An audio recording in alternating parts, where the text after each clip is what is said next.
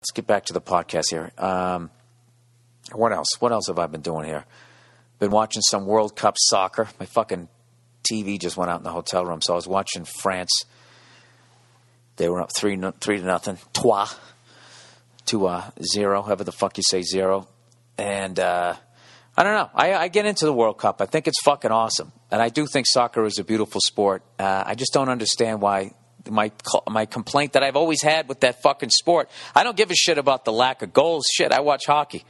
I still understand. I think it's awesome. I just don't understand why every fucking two minutes somebody collapses to the ground like they blew out their ACL, and all they did was get kicked in the shin, and they have a shin guard there. Now, I'm not saying that I wouldn't collapse to the ground, but I'm not a professional athlete. You watch the fucking UFC, those fucking maniacs kick the other fighter with that part of their leg. Now I know they come in at an angle, but it's still their shin. Now if they can toughen their leg up to do to do that, you know, I don't understand why these guys can you make the fucking guard go all the way around their leg so we can keep the movement going? So I don't know. I mean, I, I, I don't know. My idea of watching a sport is not every two minutes I see a man, a grown fucking man in the fetal position with a look on his face like he's going to start crying and then somebody comes running up to another player, gets right in his face like he's going to punch him, and you're like, oh, great, there's going to be a fight. And then he takes out this yellow card and sticks it up in the air like he's in some Benny Hill sketch.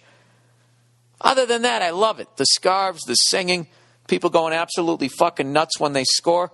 I enjoy all of that. So I'll continue watching it. And this year's actually great, too, now that they, uh, they got it away from those crazy horns, whatever the fucking those things were called. Oh, Jesus, what's who the fuck's calling me now, huh? Who is this? Oh, Jesus. Hang on. The lovely Nia, everybody. Nia, I'm recording my podcast. Can I call you right back? Okay. Okay, sweetie. All right. Um. Anyways, where are we here? 43 minutes in. I could tell by the way she said okay that I need to talk to her. She's like, okay. oh, Jesus.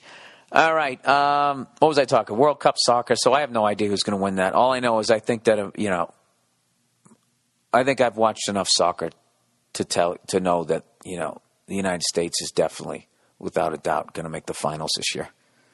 If not win the whole fucking thing. Okay?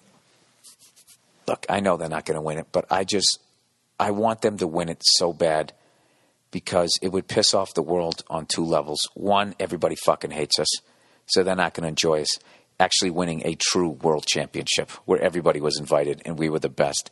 And then, secondly, when like 40 people show up to the parade, you know, here in the United States, just to watch everybody having to wait another four years to wait for their team to win it and just see that we won something that we don't even give a fuck about, right?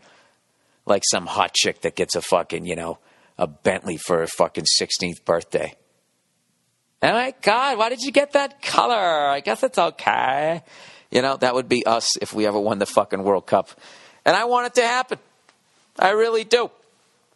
Um, anyways, the same way I wanted my team to draft Michael Sam and I wanted him to absolutely dominate because on two level, levels it would annoy fans. One, that someone on my team was dominating their team, and then two, all the homophobes would be upset that this gay guy was just wreaking havoc. all right. Oh, speaking of soccer, uh, dear Billy World Class. Um, oh, actually, you know, I got to pause here to read read some more fucking. Uh, sorry, guys, to read some more fucking advertising. This is the last little group here. Let me do my little pause.